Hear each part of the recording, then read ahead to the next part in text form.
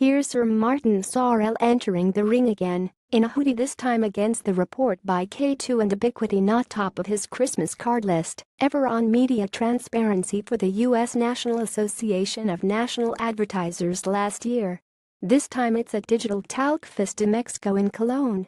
Sorrell says the report was full of innuendo, but no facts and contrasts the media buying situation in the U.S. favorably with the Middle East China and Japan, where he says there's total media opacity, with clients not knowing the true price of anything, a dig at Dentsu presumably.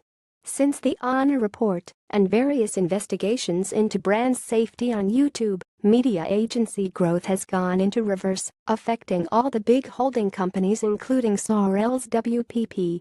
PG cut $200 million or so from its digital media spend recently, and sales went up, which is pretty damning.